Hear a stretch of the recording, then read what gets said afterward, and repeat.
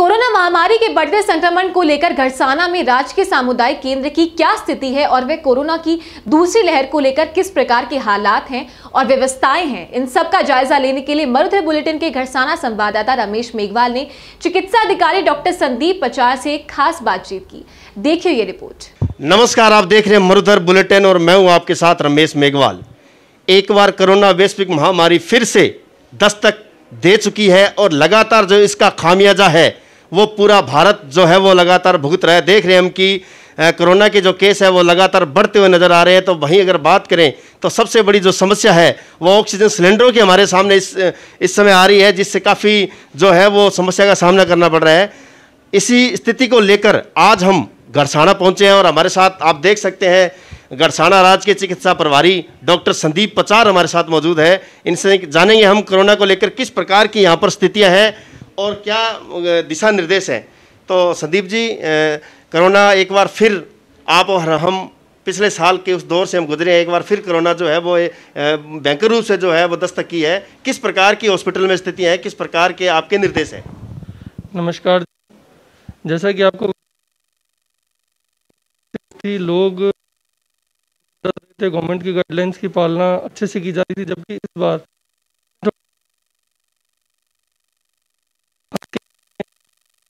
को पढ़ने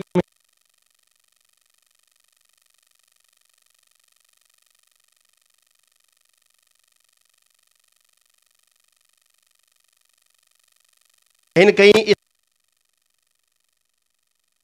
चिकित्सा मतलब यहाँ सामुदायिक स्वास्थ्य केंद्र की अगर बात करें तो यहाँ पर ऑक्सीजन की क्या स्थिति है, वह जो कोरोना की जो वैक्सीन है, उसको लेकर किस प्रकार की व्यवस्था है?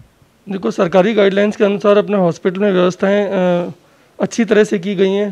अपने पास ऑक्सीजन सिलेंडर भी रेगुलरली उपलब्ध हैं। अभी भी जैसे उपलब्ध हैं, दो या तीन सिलेंडर खाली हैं तो वो रेगुलर पेशेंट्स पे जब यूज़ होती है ऑक्सीजन तो कुछ ना कुछ हमेशा ये एक्सचेंज में चलते रहते हैं कि कुछ भरे हुए हैं, कुछ खाली हैं। ठीक है तो जैसे ही हमारा फिफ्टी परसेंट खाली होते हैं सिलेंडर तो हम भरवाने के लिए भेज देते हैं गंगानगर और सरकारी व्यवस्था के हिसाब से हमें ऑक्सीजन मिल जाती है। लोगों को हमारी तरफ़ से जो हमारे पास आएगा, उसको ऑक्सीजन की कमी नहीं आने दी जाएगी। और चिकित्सा महकमा, चिकित्सा स्टाफ सब सब अपने तन मन धन से लोगों की सेवा में लगे हुए हैं और उम्मीद करते हैं कि इस महामारी पे हम जल्दी अपनी मेहनत से काबू पा लेंगे। बिल्कुल, ये कहना कहीं गवारा नहीं होगा कि चिकित्सा चिकित्सा स्टाफ जो है वो आपकी पूरी टीम लगातार कोविड के अंदर एक मान, एक ड्यूटी के साथ साथ मानवता की सेवा में बिल्कुल दिखाई दे रही है आपकी जो सेवा है। लेकिन इसके साथ ही अगर संदीप जी बात करें तो इमरजेंसी में किस प्रकार की आपकी व्यवस्था रहती है? जैसे मान लो कोविड को लेकर लोग बाग आपसे दूरभाष के माध्यम से जानकारी लेते हैं, ऐसी कोई इमरजेंसी व्यवस्था होती है तो उसको किस प्रकार से आप टैकल करते हैं? देखो इमरजेंसी के लिए कोई पेशेंट अगर घर पे है, किसी को अगर कोई प्रॉब्लम होती है सीवियर कोई रेस्पिरेटरी डिस्ट्रेस होता है, बुखार आता है तो इमीडिएटली उसे हॉस्पिटल में दिखाने की सलाह दी जाती है। अगर हॉस्पिटल टाइम नहीं है तो इमरजेंसी चौबीसों घंटे खुली है, जिसमें कि कभी भी मरीज़ को किसी भी प्रकार की श्वास संबंधित, बुखार संबंधित किसी भी कोविड या नॉन कोविड एक्सीडेंटल इमरजेंसीज के लिए भी अपना इमरजेंसी विभाग खुला है तो कभी भी आ सकते हैं यहाँ पे जहाँ तक बात है फ़ील्ड में, अगर कोई दूर बैठा है यहाँ से तो आराम से एक सौ आठ पे कॉल करके और अपनी इमरजेंसी कॉल बुक करा सकता है, उसको एंबुलेंस यहाँ तक ड्रॉप करके जाती है। यहाँ पे विशेषज्ञ चिकित्सकों द्वारा देखकर उसका उपचार किया जाता है एवं उसको दवाइयाँ लगाकर ठीक करने का प्रयास किया जाता है। संदीप जी, अगर रोज़ाना रूटीन की बात करें तो लगातार आप देख रहे हैं कि जो मरीजों की संख्या बढ़ती नज़र आ रही है या घट रही है। अगर बढ़ भी रही है तो किस प्रकार की ज़्यादा जो इनकी मतलब इनमें लक्षण दिखाई दे रहे हैं, किस प्रकार की बीमारियाँ आमतौर पर देखी जाए ये कोविड की सेकेंड वेव है और सेकेंड वेव पहली वेव से ज़्यादा खतरनाक है। इसमें कुछ म्यूटेंट स्ट्रेंस की एंट्री हो गई है जो पहले से ज़्यादा खतरनाक है। पहले वाले कोविड लहर में सिम्टम्स ज़्यादा दिखते थे और और बीमारी का जो घातक रूप है वो कम देखने को मिलता था। इस बार लक्षण कम दिखाई दे रहे हैं और घातक असर ज़्यादा दिखाई दे रहा है। मतलब पेशेंट आएगा, उसके बुखार एक दिन चढ़ा सेकेंड दिन ही उसके सांस में दिक्कत होने लग जाएगी और उसके दिक्कत तेज़ी से प्रोग्रेस करती है तो ये म्यूटेंट स्ट्रेन है, इसका असर ज़्यादा है और लक्षण कम है। लक्षणों में पिछली बार गला दर्द, बुखार और अपर रेस्पिरेटरी सिम्टम ये ज़्यादा प्रीडोमिनेंट थे। इस बार के जो है कोविड में, साथ में पेट से संबंधित गैस्ट्राइटिस उल्टी, दस्त, जिदोरा, ये सिम्टम भी साथ में अच्छे खासे मतलब फिफ्टी परसेंट इन्वॉल्व है।